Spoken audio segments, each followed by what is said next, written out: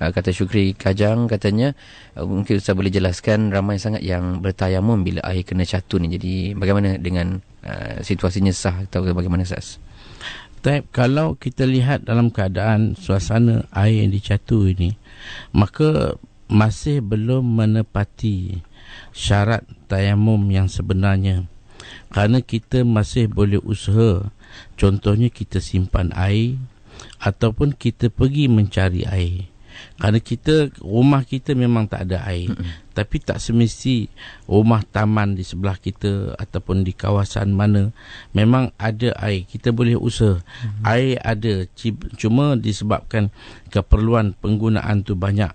Jadi kita terpaksa jimat untuk air. Kita boleh beli dengan harga yang biasa. Air sekarang ni belum. Kalau kita tengok air-air minuman yang dijual di pasaran air dalam air mineral sebagai hmm. contoh harga hmm. dia masih biasa hmm. tak ada pun harga naik jadi kemampuan tu ada untuk kita beli dia kalau sampai tahap harga sudah naik dan kita walaupun mampu kita tak dipaksa membeli.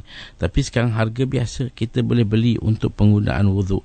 Jadi belum sampai masa untuk kita bertayamum jadi sebenarnya bukanlah uh, syarat yang kata kita nak tayamum dalam suasana air yang dicatu. Kerana dua hari sekali hmm. kita dah tahu dah.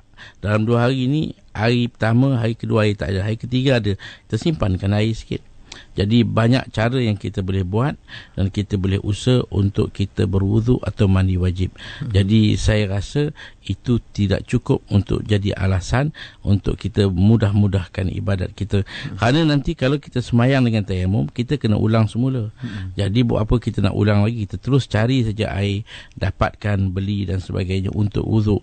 Maka itu boleh tak ada masalah.